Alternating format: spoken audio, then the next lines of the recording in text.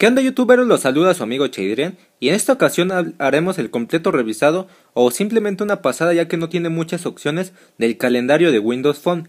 La verdad no sé si haya cambiado en Windows 8, la verdad no sé, pero en Windows Phone 7.8 es así y este es el que vamos a revisar.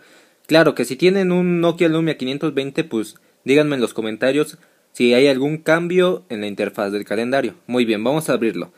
La la, el icono es este, nos muestra el numerito, nosotros lo podemos hacer grande y que nos muestre el tile totalmente grande con el día y el día, ¿no?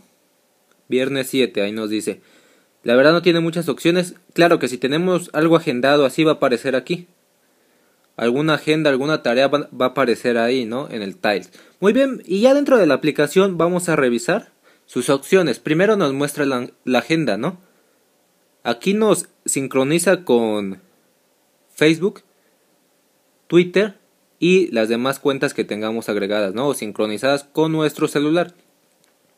Nos muestra los cumpleaños de nuestros amigos para que nos mande una pequeña notificación al momento de que se cumpla, ¿no? Este día. Tareas. Claro, aquí podemos agregar en todos podemos agregar, ¿no? Agenda, agregamos algo a la agenda que tengamos. Algo a la agenda nos, muestra aquí el día, después un signo de más que podemos agregar, ¿no? Una cita o alguno, ¿no? Y le podemos poner más detalles y obviamente guardar. Y le ponemos la, ahora sí como una pequeña alarma para que suene, ¿no? Al momento de que sea el día. ¿Qué más? Tenemos tareas podemos agregar algo que hacemos diariamente, ¿no? cotidianamente que tenemos que hacer y hay veces que se nos olvida o nosotros queremos olvidarlo, ¿no? Para no hacer nada. Y aquí le podemos obviamente la fecha de finalización, alguna nota extra, algún recado que te hayan dejado que tú tengas que hacer en esta tarea y la fecha de finalización, obviamente le tienes que poner aviso. ¿Qué más encontraremos? El día, Aquí para ir, ¿cómo se llama? Nos muestra todas las horas del día para que nosotros si tenemos algo ponerlo, ¿no? En una cita y aquí nos va a mostrar y aquí podemos como que configurar, ¿no? O ponernos al día para que todos los días estemos ocupados, no sé, a las 7 me tengo que parar, a las 8 tengo que hacer esto, a las 9 tengo que hacer esto, tengo que estudiar, tengo que hacer la tarea, tengo que dormir. Y así le pones, ¿no? En todas las horas y así vas a estar bien organizado en tu día. Obviamente eso sería todo en cuanto a las opciones que se deslizan, ¿no? Izquierda o derecha. Esto sería todo. Pero aquí abajo tenemos la opción de calendario, que eso es la principal función que realiza esto, ¿no? Ver el calendario.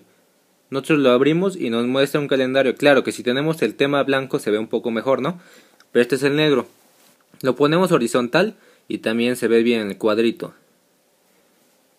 La verdad está muy padre. Entonces podemos cambiarle de mes. ¿Ya vieron? Está muy padre, muy minimalista, muy muy buena, ¿no? Aquí estamos a 7, nos pinta el cuadrito, ¿no? Y pues eso sería todo, nada más faltan las configuraciones, pero no son muchas, ¿no? Vamos a verlas. Podemos poner el Obviamente está sincronizado con Windows Live. El color del tema, el calendario de cumpleaños y aquí los colores, ¿no? Días festivos, todo sincronizado con Windows Live, ¿no? Para que estemos totalmente conectados al mundo exterior, ¿no? Lo que pasa en Estados Unidos, algún familiar tiene algo que hacer o tiene un cumpleaños, nos lo dice aquí. Y aquí nada más nos muestra una casilla para este palomear o quitar las tareas del calendario.